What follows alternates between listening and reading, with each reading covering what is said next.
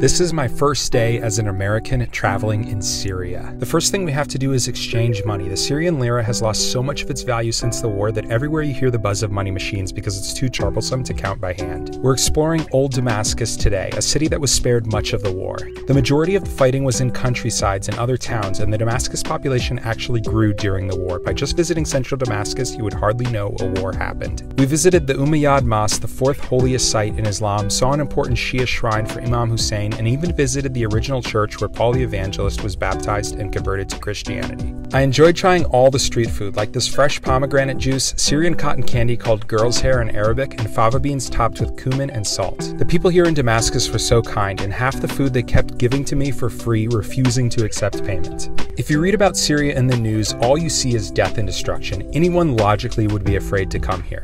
Not to downplay the war, but there is so much more to this country and the people than what you see on the news.